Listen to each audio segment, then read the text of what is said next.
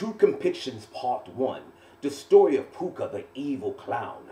When I was a younger lad in the streets of Dallas, Texas, me and my mother lived in the southern sector of town. Some will call it South Dallas, but I like to refer to it as Pleasant Grove. At nighttime, when I would go to sleep and it was time for me to slumber, an evil clown would come on my television at night and talk to me, and his name was Pooka.